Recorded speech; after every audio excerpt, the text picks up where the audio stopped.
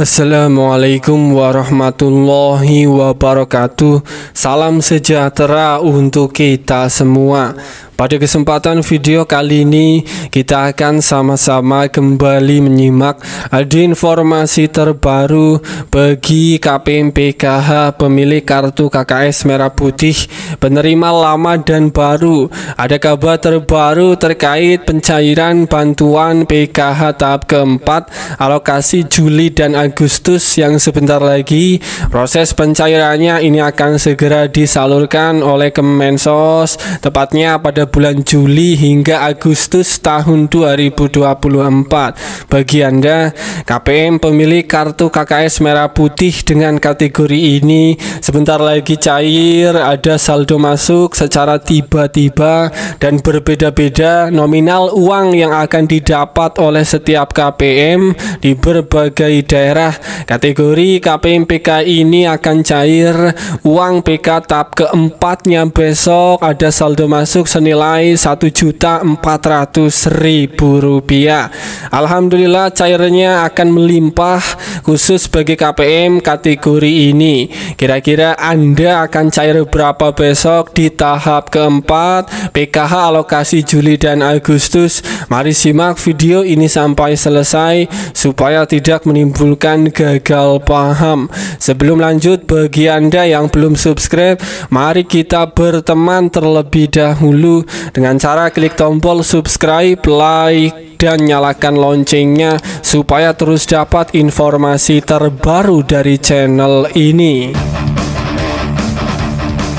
Perlu diketahui bersama ada informasi terbaru bagi Anda KPM PKH Ini khususnya siap-siap pencairan PKH tahap keempat sebentar lagi akan disalurkan. Perlu diketahui pencairan uang PKH tahap keempat tahun 2024 besok tetap akan dicairkan secara bertahap. Akan ada beberapa termin pencairan. Bagi KPM PKH yang sudah lancar cair cair bantuan PKH-nya di tahap sebelumnya tidak ada masalah.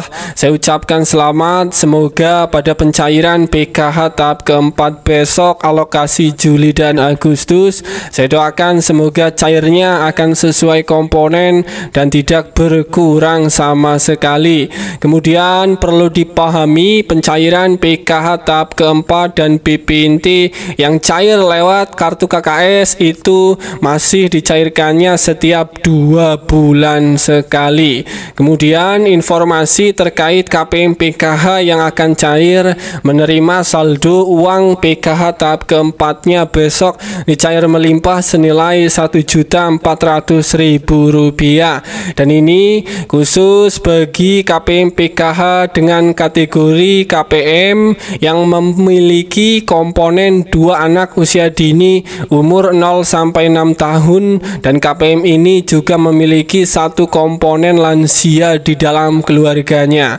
Maka jika ditotal jika KPM PKH ini memiliki dua anak usia dini atau balita dan mempunyai komponen satu lansia di dalam keluarganya, ini bersiap uang PKH tahap keempat akan cair alokasi Juli dan Agustus cairnya melimpah senilai Rp1.400.000 diprediksi pencairan PK tahap keempat itu akan disalurkan di antara bulan Juli hingga Agustus tahun 2024. Siap-siap dalam waktu dekat kartu KKS Merah Putih Anda akan segera ada saldo bantuan yang masuk. Semoga ini bermanfaat sampai ketemu di berita lainnya.